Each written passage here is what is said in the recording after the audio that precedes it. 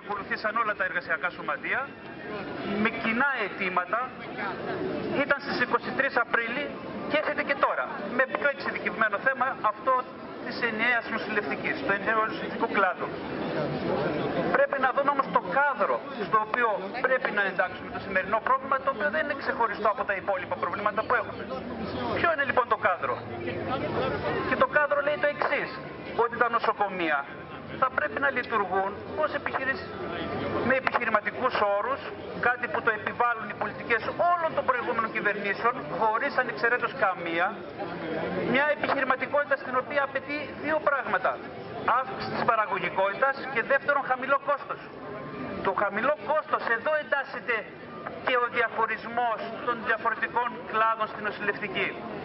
Χαμηλό κόστος γιατί αυτό απαιτεί η αυξημένη κερδοφορία των νοσοκομείων και των νοσοκομείων αυτών που λειτουργούν με δυτικονομικά κριτήρια όπως είναι έτσι και το Παπαγεωργιού. Εντάσσοντας το πρόβλημα αυτό που έχετε εσείς ως ΔΕΛΤΑ αλλά είναι γενικότερο το πρόβλημα, καταλαβαίνουμε γιατί πραγματικά το διονύζουν και το νομοθετούν και το ισχυροποιούν. Κοιτάξτε να δείτε.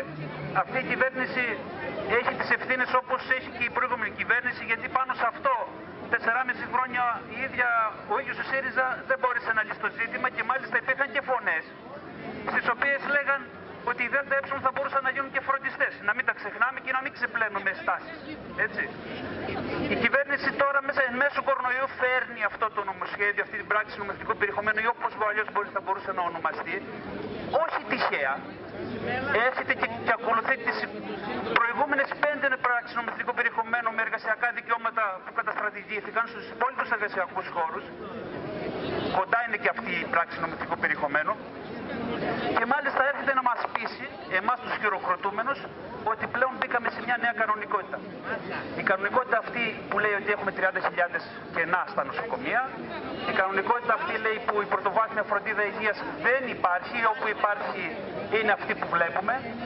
Η κανονικότητα είναι αυτή που προσπαθούν τα νοσοκομεία να διαχειριστούν αυτό το πρόβλημα του κορονοϊού όπως μπορεί και όπως μπορεί ο καθένας και αυτοσχεδιάζοντας αλλά κανονικότητα είναι, συνάδελφοι, να δούμε ότι παρόλο που προσπαθήσαν να βάλουν μάσκες στα στόματά μας, υπήρξαν φωνές και υπάρχουν φωνές.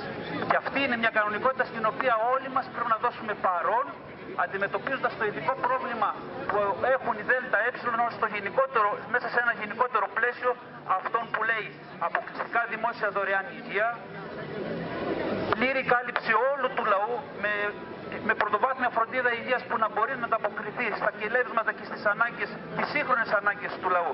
Μέσα σε ένα τέτοιο πλαίσιο πρέπει να δούμε και το δικό μας αγώνα ως ΔΕΛΤΑ ε, ω ΤΑΦ, ε, ω ΠΕ. Η πρόταση είναι αυτή που πραγματικά όλοι θέλουμε. Ενιαίος νοσηλευτικός κλάδος με επαγγελματικά δικαιώματα και καθήκοντα. Και για τους ήδη υπηρετούντες, ας φροντίσει το κράτος να ανεβαθμίσει τα ίδια τα πτυχία τους με το πρόγραμμα που αυτό θα κρίνει.